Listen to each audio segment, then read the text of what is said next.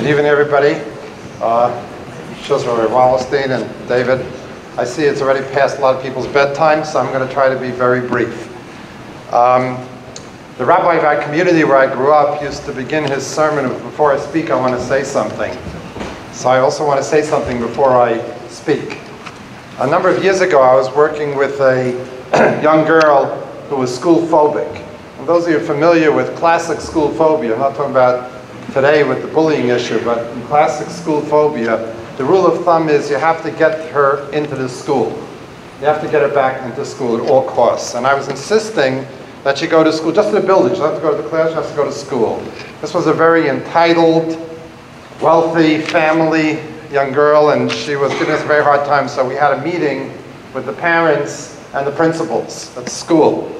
And she was trying every way to get out of coming to school, and I wouldn't let her get away with it. No, you have to come to school, you have to come to the building. And finally, she had a total meltdown.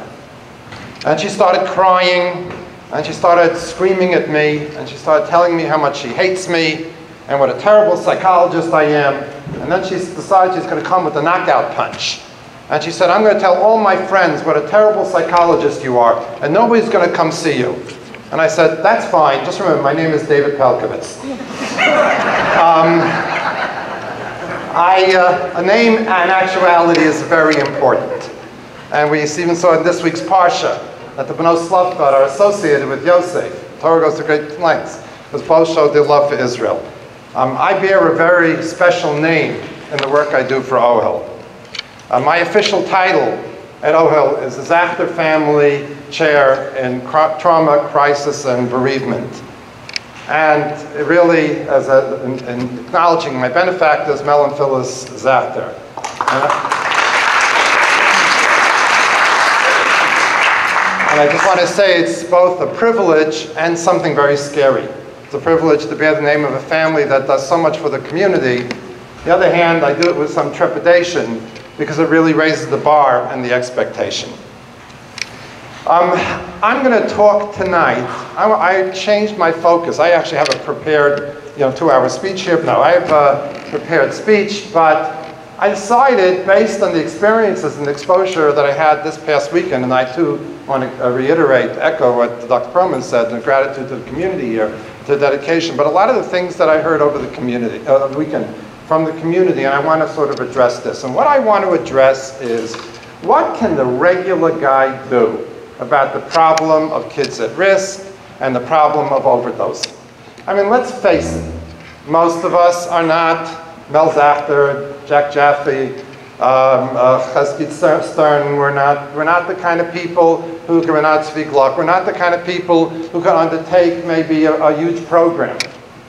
But what can the regular person do, like most of us, to get people who are working hard just to get by, regular people who want who see this problem, what are the small little things we can do? You know, the Mussar Sfarim talk, they'll talk about Rabbi Akiva and how he saw the water dripping and went through the stone, and when it penetrated the stone, he realized that Torah can penetrate his heart. So they asked the question, which drop broke the stone? Which one was it? And the answer they often say is the first one.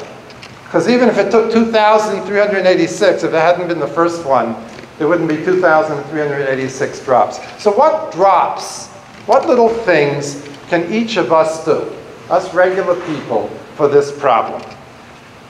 So let me talk about a few things. First of all, again, I'm supposed to talk about risk factors. When we, the research on risk factors for uh, addiction are very complex. It can never be reduced to one thing.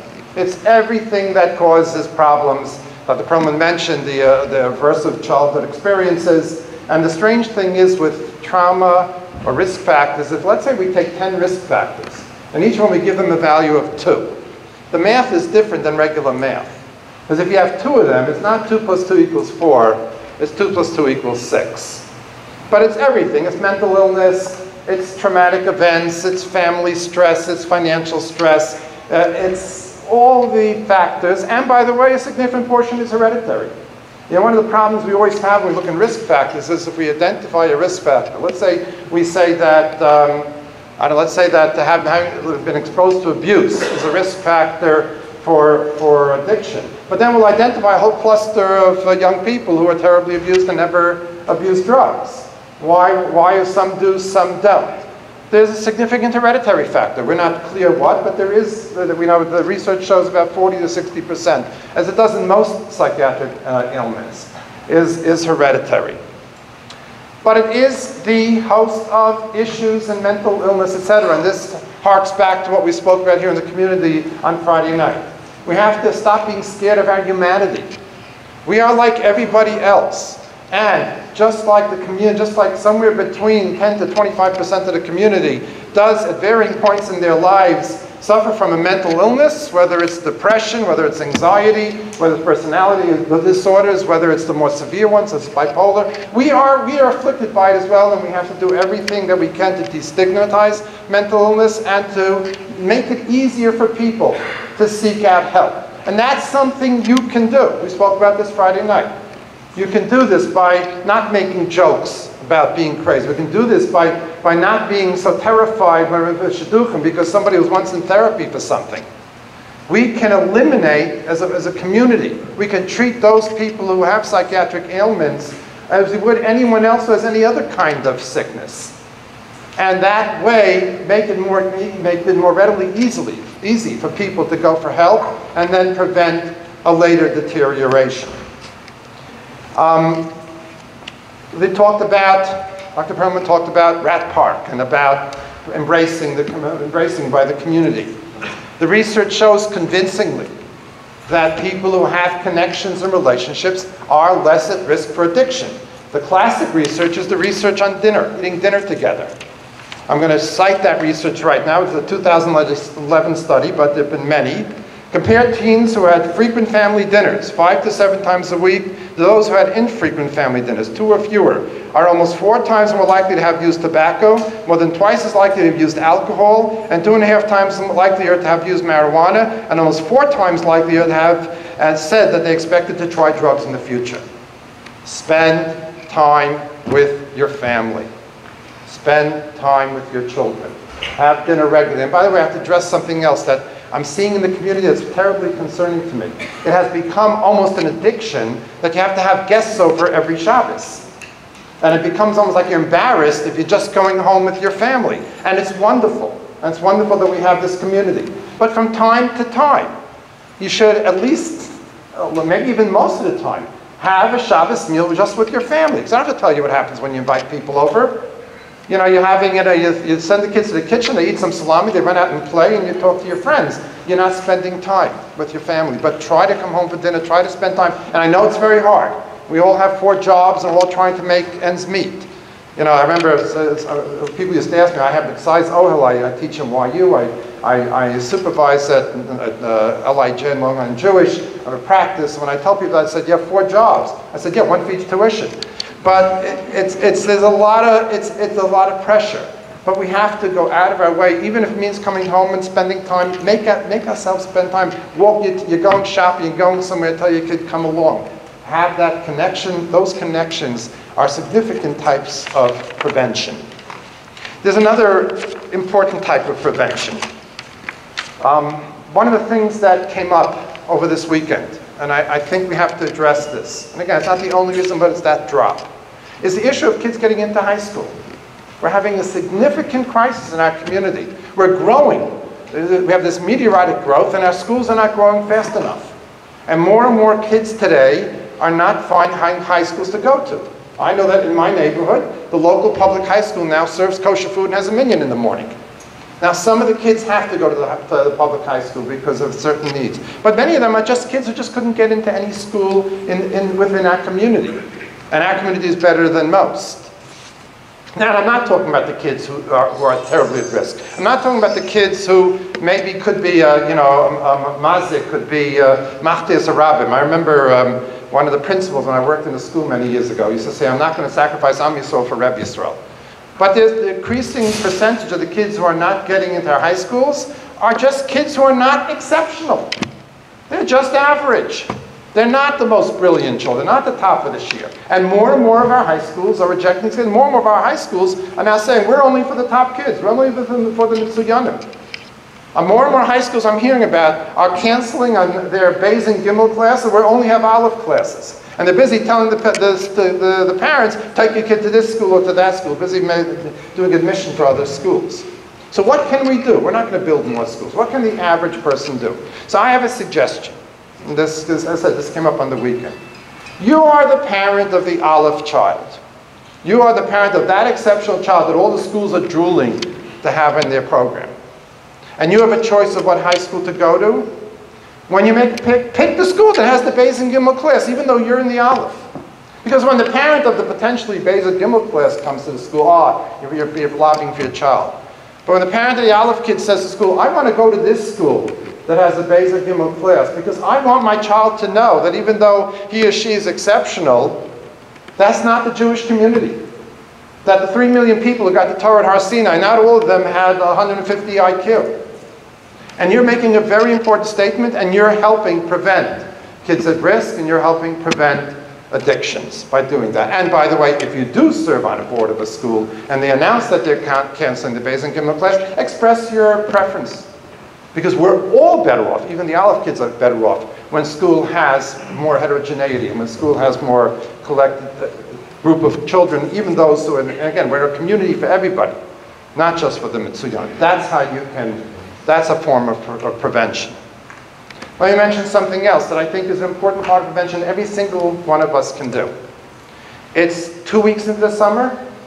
I can't tell you how many phone calls I've already gotten from camps about issues and problems that are going on in camps. Now, most of the kids are having a fabulous time. Very few people called up the director of trauma and bereavement for OHEL to say that the kid's having a wonderful, wholesome time, learning beautifully and, and playing sports, and what are you going to do about it? But the ones where there are problems, or the camps or the parents, are the ones that are calling. Now, this may sound simple, but this is something I think very important. Camps rely on us. We pay, we choose. And when the camp representative comes to your home to play or sends you the video or the interview with the camp director whether you're going to send your kid to this camp, I want you to ask them the following question. That witching hour, you know what the witching hour is in camp?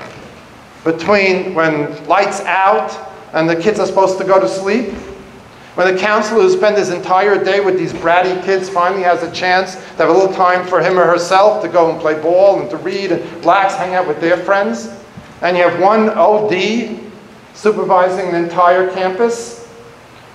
Is that what's happening? You have one person watching the whole campus? Or is there an adult, or is there some sort of counselor figure who is in the bunk? Because it's during those times that sometimes, sometimes some pretty awful things happen. And again, I'm not saying that the only reason for kids at risk or the only reason why we've seen these kind of suicides is because of, of, uh, of uh, sexual abuse, though it's a significant one. But we are seeing, because of the way we're educating our children, we're seeing a decrease in adult to child abuse, but we're seeing a dramatic increase in peer-to-peer abuse. And we're also seeing a dramatic increase, especially in our community, of sibling abuse. And if you can do something to reduce that, and we've done something, we've done something to reduce the adult to child. Children are much more empowered, children are much more educated. And so the credit of a lot of organizations, including those that are represented here. So that has, that has happened. But now we've got to focus our attention on the other type of abuse, because that's also a way to prevent addiction. And in camps, we have to, we have to tell the camp directors, in today's world, we want more supervision. Now, there should be an adult with the children, all the, well, what they call adults. I mean, those are children taking care of children, but hopefully there should be some sort of adult watching over them. We have to be more sensitive to people who are suffering. I want to share with you, I'm going to say very obliquely because I want to divulge what. I want to share with you a conversation I had that was traumatic for me. it happened to be that I had to go to a school, as is often the case, following a crisis. I don't want to specify which, in case someone narrows down what school it is. But there was a crisis in a school, uh, one that was very derailing to the staff and to the kids, and that's what I and the, whole team does. We go to the school, we meet with the kids, etc. And it happened to be the alma mater of a relative of mine. My, my relative of mine had gone to that school.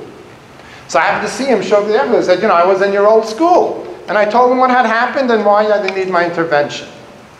And he said to me, you know, when I was there in high school, there was a kid who, who took his life, who committed suicide. We don't use that term commit suicide anymore, we, for reasons I'm not going to go into, but Yeah, he took his life. And he happened to even sit next to me when I was davening. And the next morning, we schmoozed it out for two minutes, and everything was fine. I said to him, Moshe, whatever his name is, if I was looking for a high school for my kid, and I heard about a school that had a tragedy of that magnitude, that schmoozed it away for one or two minutes, I wouldn't want my kid in that school. Do you have any idea? Has that mother slept one, one night since then? Where's our heart? Where's our feeling? And we have to, and if we're connecting, if we're connecting to other people, we have to have more of the heart. We have, we have to take away this notion that strength is not being emotional. We have to look around our community and see what's going on and feel it. And then if we feel it, we extend ourselves. And that's also a way, another drop of water of what we can do, is that we can connect us so we can help all those people potentially at risk. If there's a uh, recent divorcee in your community, invite them over for a meal. Divorce is not a communicable disease. Let them know you still respect them. You still think highly of them. If there's a family in your community where a parent has been incarcerated and the children are struggling with this, give them, invite them along when you go on Chol Hamoed to, to the park or to the amusement park. Those are the drops of water, and I'm telling you from personal experience, I know. That's that little bit that makes a difference that could really prevent an addiction. One or two more points, uh, and then I'll conclude. It's it, the way it works with addiction is to get somebody into treatment, sometimes to get somebody to, to achieve abstinence. As I'm sure Dr. Perlman, all those who are working in the field know, you got to be really hard with them. You can't be, you know, you really have to overcome part and parcel of addiction is a denial. And you really have to sometimes hit them over the head and, and, and, and twist their arms till it hurts for them to get the help that they need. But if they go for the help, and if they do it seriously, they deserve our respect, they deserve our commendation, they deserve our forgiveness, if you will, and we have to embrace them. You know, there was, uh, back in the Reagan era, Nancy Reagan was uh, one, of her, one of her themes, or one of her undertakings was substance abuse, and she had a theme which was just say no. So many people in the substance abuse field said that Nancy Reagan now has a solution to the homeless problem. Just buy a house.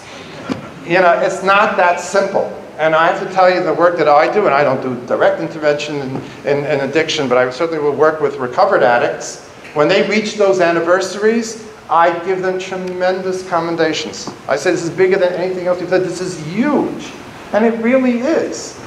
And, for, and you have to understand that for those who have addicted, once they've tasted that, once they've been in that realm of pleasure, once they've had that endorphin rush in their brains, it's always there. I, uh, I had a cousin from, through marriage.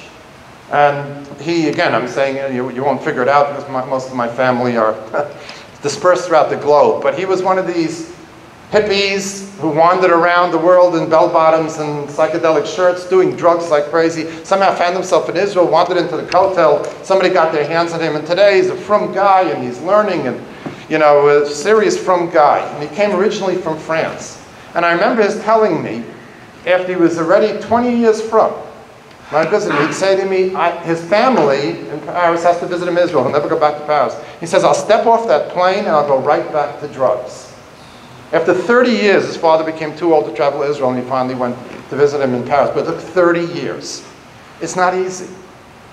You know, if I can just reference the Parsha, the Rabbanim, you know, we, Pinchas got the brisi, brisi shalom, he got the bris of peace. So Haamek Davar says something very beautiful about it. He says, why does he have to get this, uh, this gift of peace? Because he committed murder. He got a taste. I have never murdered anyone, so I don't know, but he's got that taste of that omnipotence of what it was like to take a life. And it could become part of him. So Hashem rewarded him by giving him shalom, by making him peaceful, so he won't become addicted to it. But that's, that's the nature of addiction, and we, we do need God's help that the recovered addicts have that help from God so they overcome that addiction. But we have to embrace them and. In fact, it's very interesting. I want to cite one quickly, one study. It's a study that's very interesting, not even about addiction, but it really, it also uh, connects with us as Jews. This was a study done in 2006 by Dr. Kohrt, who was an anthropologist. And he studied Nepalese children between the ages of 5 and 14 who were kidnapped from their homes and forced into the army and experienced terrible atrocities and violence. Part of our history.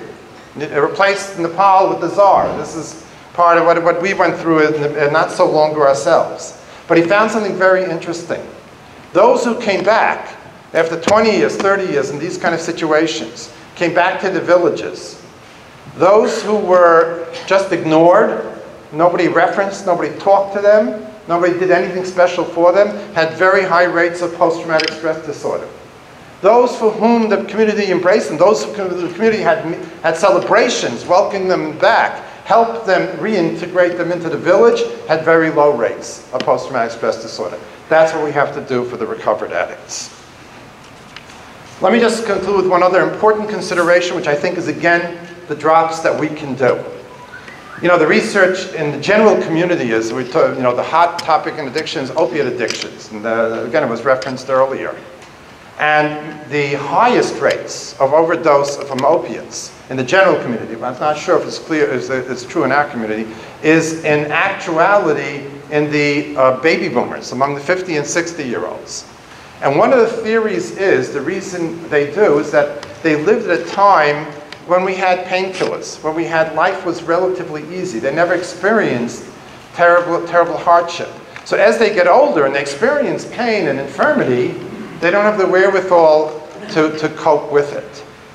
Now, we do live in very wonderful times and very easy times. One of the things I often think about is what it was like for me to go to school and what it was like for my kids to go to school.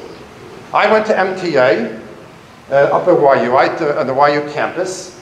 I took a subway. We had to take that treacherous walk from the subway station to school, and the neighborhood was a very bad neighborhood at that time.